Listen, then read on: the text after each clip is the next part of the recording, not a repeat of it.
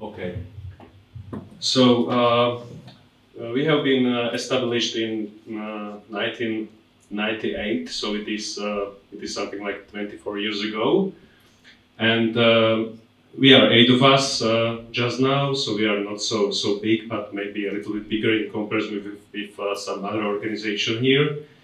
Uh, and um, you'll be speaking about the pandemic, so we were also active in this field, but not specifically in municipal level because we focused on um, uh, coronavirus subsidies uh, overall in, in Slova Slovakia because there were some mechanisms for uh, supporting of businesses. Uh, it was uh, overall more than 3 billion of euros finally and um, we ask all this information from the different ministries about the subsidies, and we publish all this information on specific websites.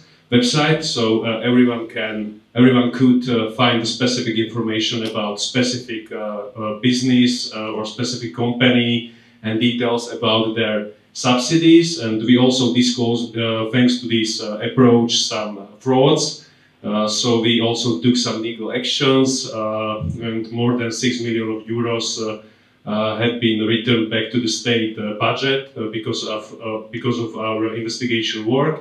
And we also were awarded by a journalism award because of that. So it was our approach in, in coronavirus pandemic. However, it wasn't, as I mentioned before, related directly with, with municipalities. We have also quite strong municipal program, uh, which has four uh, main pillars. Watchdog, uh, it's, it's main, main, mainly about investigation, anti-corruption strategy, so we also cooperated with uh, municipalities and we try to establish some anti-corruption measures in them. Uh, also, uh, measuring of transparency level, it's very similar to TI Lithuania, so it is about transparency rankings. And also we network local activists across the country. So uh, we have also uh, the specific portal uh, about transparency level in 100 biggest municipalities in Slovakia. So you can open the, the portal. There are it is available also in English. there are mm, results of rankings since 2010 uh, when we started to uh, evaluate the transparency level of municipalities and eight regions in Slovakia so you can compare the trends, the best practices from the from the municipalities and so on. Uh, speaking about the impact, uh, we can see uh, quite significant improvement in this this field. Uh, as you can see, uh, in 2010, uh, when we launched our first ranking, the overall score of transparency in 100 municipalities was was something like 40%. Now it is more than 63%, so we can see a significant improvement in this field. Uh, and maybe two more slides. Um, the first one is related also with uh, municipal uh, municipal media. We, we also uh, we also compare or evaluate the trustworthiness and objecti objectivity level in municipal level. It's the same project as Oživení mentioned because we are part of uh, the, the coalition which is uh, involved in this in this measure or in this in this approach.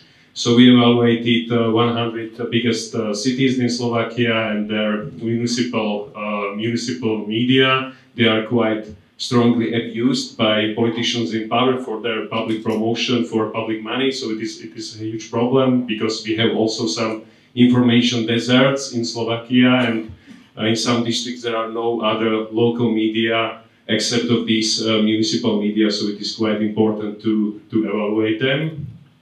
And uh, maybe my last uh, slide is related with campaign monitoring. Uh, it is uh, also quite important, important project from our perspective. The local and real, regional election was held in Slovakia only a couple of weeks ago.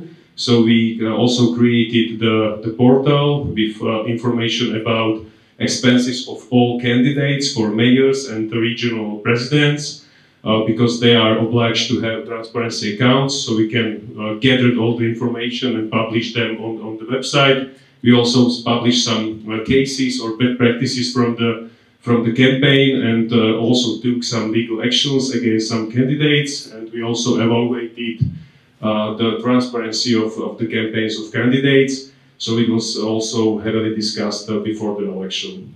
So basically, in five minutes,